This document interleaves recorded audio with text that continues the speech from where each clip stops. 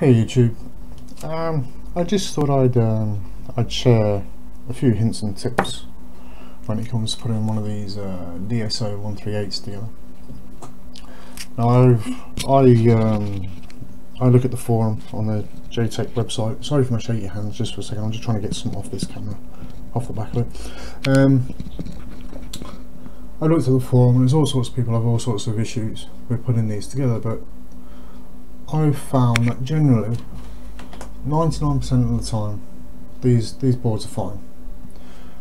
Um, so I'm going to give a, a, few little tips that might just save you some time while you're doing it and I'm going to put this camera down into not such a shaky um, shaky place. Basically not in my hands. So here we are. Okay right the first thing is it says in the instructions that you want to um, test all of these with a meter. Now I think that's a ridiculous thing. In some ways I suppose it makes sense, but it's a ridiculous thing to do, especially if especially if you're busy busy making these things. All these are populated, all these are done, these boards. Uh, I, there's a few people have asked me for them and there's also a, I do a little bit of charity work and, and some of this is going off to a centre. Oh, let me just get that set up. So, and so what I thought I'd share with you is uh, a few of the few of the tips with these. Now, these are the sort of things you want to check. Is like the the little switches. There should be eight pins there, and I know my camera is not very good, so it's going to find it hard to see. But there are eight pins there.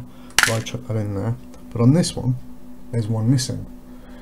Now, if you put this together you can see the one that's missing on there. Sorry I've been doing my garden today so my nails are a bit rubbish. Uh, I think you can see there's a pin missing there.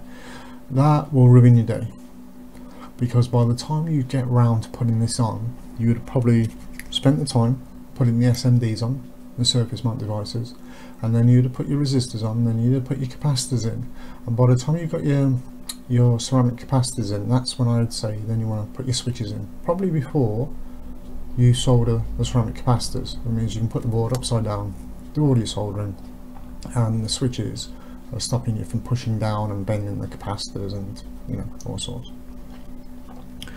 So check these because that can uh, ruin your day. That, that one I'm going to talk with the distributor about and because I've got some spares of these but the spares that I sent off for have all got longer so it's going to be an odd but I do have a couple of boards that I had a problem with solder.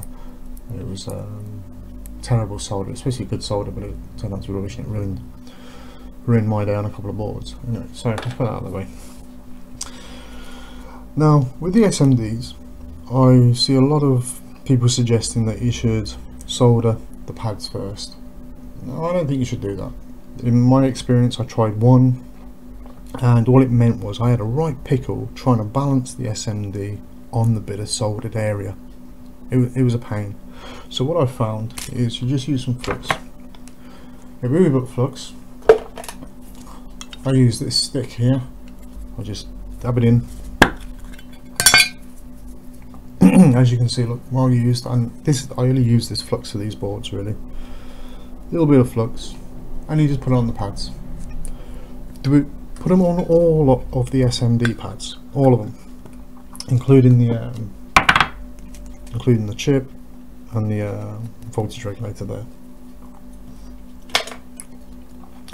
Put the SMD, put the um, little smear of the flux on all of these, and then you can place. Starting off, you know, you get a you get a little list like this. So I'd start off with a 10k, and normally what I do is I have this sat here sit it here and I find my little strip you know. My 10k I know I need six of those so I tip them out here and I can start placing all, all the SMDs get everything placed on the end on the SMDs uh, before you start soldering. And I normally find it easier to have my soldering iron here right here. Of course I've got my little cleaning um, here rather than use the sponge all, that happens with the sponge is some people say they like the sound of it, but if, if you're into the sound of it, okay, fair enough. But if you want to keep the same temperature pretty much of your iron and use it enough straight away once you've done this, I would use one of these because this doesn't affect the temperature too much. It does slightly, but not as much as a cold, wet sponge. Um, and then yeah, so then soldering the SMDs. Take your time. I normally go down one side first on everything. Everything that I can get down one side, then I'll turn the board and I'll do the next side. And I do this every time like this now. Um, I'm going to ballpark it, but over 50 of these things I've built. And then once I've done that, I start I start with the resistors. Now this is why I decided to make this quick video because because it's it's at this time where what have we got stuck in there? Transistors. I'm gonna get rid of that. And then the resistors. Now I'm lucky. I've got one of these meters here and this meter here comes with these babies which means it's very easy for me to just drop my resistor in there I get to see what the value is I look on here and I get to see where I'm supposed to place it I'm so shaky what is wrong with me right let's put that down oh shift my wires out of the way so we don't just run away okay so if I put my iron down there, I wouldn't normally have all these boards here. I've just, I just, I just put these boards here so I could just, just show you that there's a whole bunch there. These are, these are all made. They're all tested. Um, they're not calibrated yet. The screens aren't on, and I'm just about to ship them out of the way because they're going to do my heavy in there. I didn't make the pack of biscuits that were underneath. so, and and this is what I find really really useful when you're when you put in these um, resistors in, as you can see, some of the resistors have more than one. Always go from the number. So if that's, so let's say that's R8. So find R8 on here. Find R8 on the board. And, and put it in. What's happened to the light? And then the next one is R12. Don't don't find R12 here. Don't be looking through this for R12 but as it comes up that's a diode we're not going to use that but as it comes up you know if you've got one of these that's great it makes life a lot easier than trying to do it with a normal meter uh, putting the wires on with the probes putting the, the probes on uh, and then let's say if I got R8 in and the next one turns out it's uh, R. So basically yeah. Uh, um, put them in an order. You know don't um, you can only put them in in the order that you put them out on here. But with the capacitors I tend to go for the ceramics first and I put all the 100 nanofarads in they're the bigger ones put all the 100 nanofarads in apart from 10 and 11 I tend to leave one of these out just because of the way the the, the pins bend. So I put the whole lot in first, all the capacitors, not the electrolytics, just the ceramics. All the capacitors in after I've put in the inductors. You've got three inductors, you've got two diodes, I put those in directly after the resistors. Um, and then the capacitors, all the 100s in. And again with that, um, because the 100 start with C1, C9, I pick out a 100, I put in C1. Next one, C9. Not C1 and then C20 and then because then I don't know what I'm looking for I know that if I pick up another 100 and I've already done C9 I, I look on here C9's done I'm then looking for C14 uh, C10 or C11 or C14 depending on which one's next so you don't have to keep oh where did I get to? Where did I get to? And that's the same sort of theory as for the resistors. Put them in in an order and just keep yourself going without order and it will make your life a lot easier doing it like that. Um, and then you know once you've got the, um, the inductors in the, the, ceramic capacitors are in put the the transistors in the, the um, transistors. They um, we got voltage regulators got positive and minus. Uh, it's the 79 L05 is the minus and 778 L05 is the, the positive the positive. Get these in the um, S I think it's 8850 goes there and the uh, and the other one goes there. The one four I can't remember what it is. But that goes there. And if you do that little sequence um, once they're in and you're ready to solder I would also put the switches in. I just press them all in. Of course you've checked these already before you started because if one of these is knacked if there is a pin missing it's not going to work. Um, but I'd check those first. I w I wouldn't try and check every component works first because that's impractical. They even say that on the JTech website. Uh, that they don't check that. They just check that the board is not got any faults. Itself um, and then put these in make sure that none of the legs are bent. Make sure they're all nice and straight because if you either get it in you've got a bent pin that's a pain to get it back out again. If you solder it in and you've got a pin that's not in properly that is enough to give you a bit of a stress out because it's going to be a blooming pain in the backside trying to get those solder off and get it out without damaging anything. So just check these first make sure you get these pins in nice. Everything else is pretty much easy enough. Um, if you're building it for yourself the USB doesn't actually do anything at this stage so you don't even need to put that in. Um, but if you do what I find is it's um, I warm the inside once it's pressed through. Check the pins on these as well because if you do want it in there and if it ever does become useful in the future you want to make sure that you haven't got any bent pins here and then put that in heat up I heat up the insides first and then I just put the solder on and just roll it across the top until it gets a nice connection. And that's the same for these as well. A lot of people struggle with these. I've seen some of the um, the bigger name people on YouTube who have built one of these have said that they've not bothered doing the ends because the ends are a pain in the backside.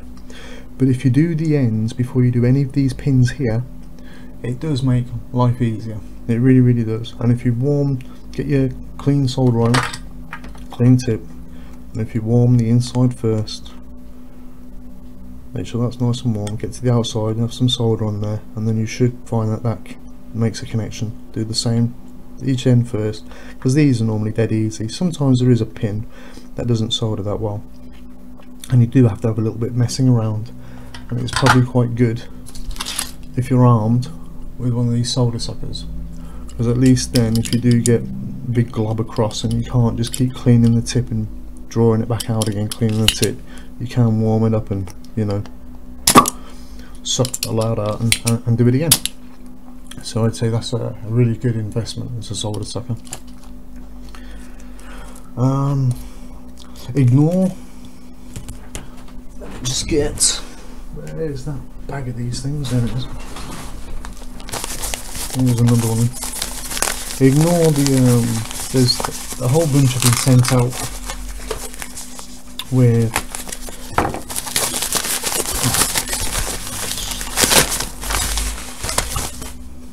a whole bunch have been sent out with this note. Now I already did a video, I asked if anybody else knew anything about the note and no one said anything. That note itself is a mistake. It says why have I got the shakes? What's going on? Um, it says errata. That means error, I believe. Uh, JP, JP3 and JP4 uh, in the notes. Uh, basically, it's saying don't solder these, but this is actually the error. You should be soldering JP3 and JP4, and you don't solder JP5 and JP6. Okay, so if you get one of these, just ignore it. Never put it in. I don't know what they were on, but they, uh, that, that was a, big boo-boo. I've confirmed that, even though I had to tell them. Even at JTech, they sort of, there is a language barrier slightly, and um, it still had some confusion, but like I said, all of these kits that I've built over the last couple of days, they all had the error, but I've soldered JP4, JP3, wherever it is, JP3 and JP4 and they all work. I did try not doing that and I tried the other side, JP6 and JP5 and it didn't work.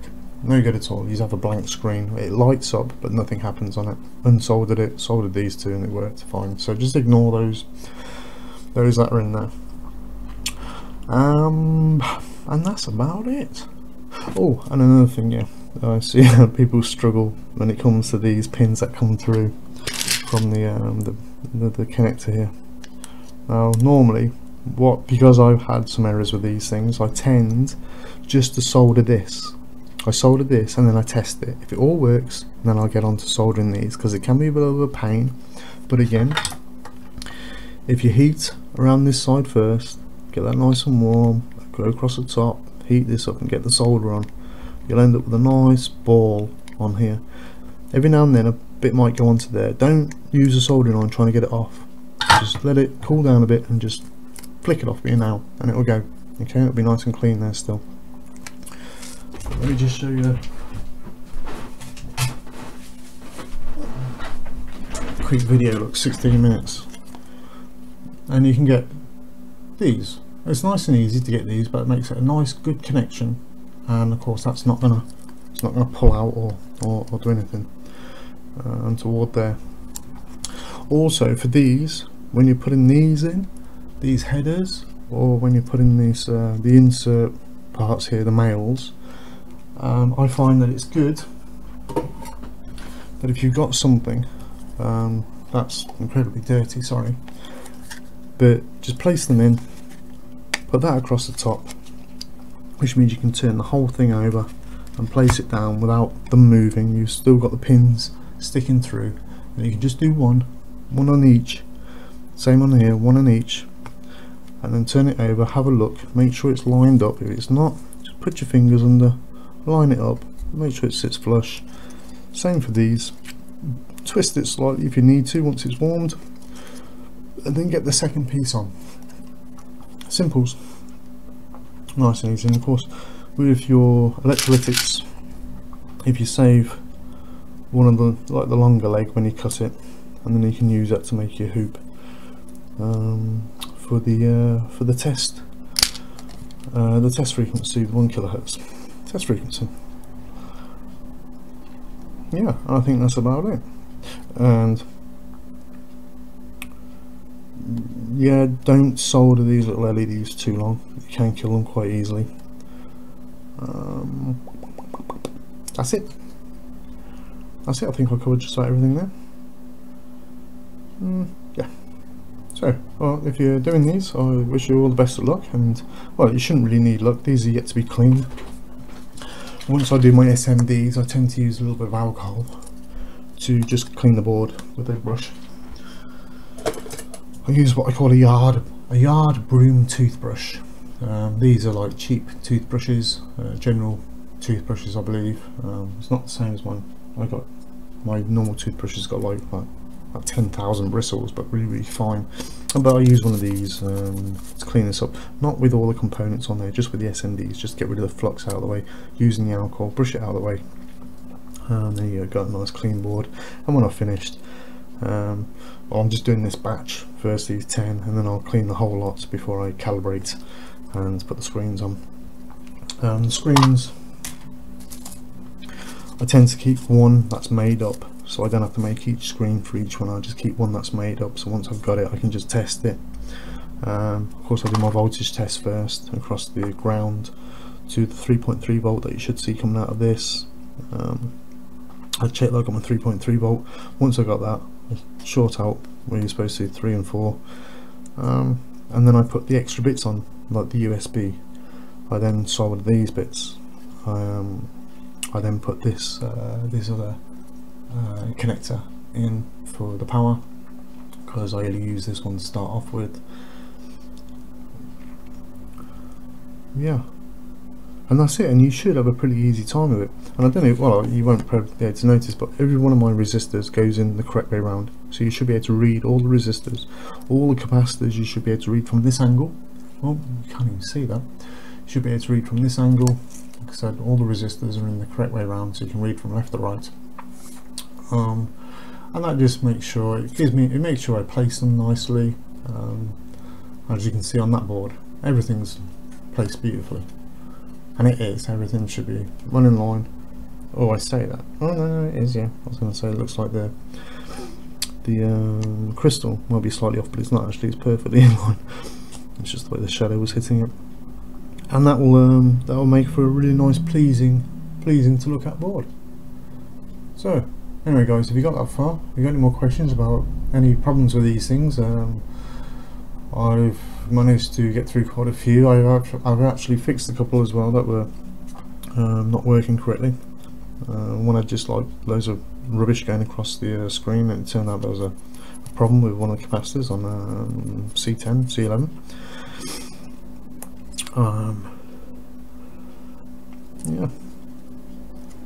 I hope any if, I hope if you're going to build one of these, as you've found some of these tips helpful. Uh, these, when you put these um, variable capacitors in, I suggest you just put one in, you have a little bit of solder on on the end of your thing, and just keep your your finger on the bottom. Only give it a second or two. Just get it so it just stays in place. Make sure it's nice and in place. Do the one next to it, you know, do a pin two of it, then go back to pin one. Do the same thing when you put the next one in. Just hold it in with your fingers. Little bit of solder on there. and Just get it so it stays in place. Make sure it's nice and level. And do that. I'm sure most of you will know all these things anyway, but for those guys out there are thinking about building one of these, but think it might be a bit of a nightmare, uh, I think I've pretty much covered just about everything on there. These are they easy. You can do this once you've got the switches in, um, and it's literally just put it in. Turn it over like that. Push the board down. Make sure you got one pin through. A little bit of solder. Turn it over. Put your finger on, and then you can, on the bit that you've got on, just warm it up. Let it clip into place, so you know it's all nice and firm into place. A little bit solder there. A little bit solder there, and then just gently solder the lot on. And when it comes to soldering, less is more not big blobs don't need big blobs just needs a little tiny bit of nice solder on there that's all good you see the way I've done these lot like I said I just warm up the inside um, and then just roll the soldering iron across the top and should just warm up the inside there. So that's nice and warm. Roll it across the top with a little bit of solder and you end up with a nice little little tiny blob on each. And then you just do the little tiny bits there. You don't really need it because this doesn't actually do anything as far as I can tell from the JTech thing, uh, JTech website. It's just there for future use. I forgot to mention when it comes to soldering these again the same as um, you know for the for the female side. Just pop it in. Put a, put a little tiny bit of solder there. I don't know what your solder's like. This is quite good. There is a little tiny bit of spit can come off it.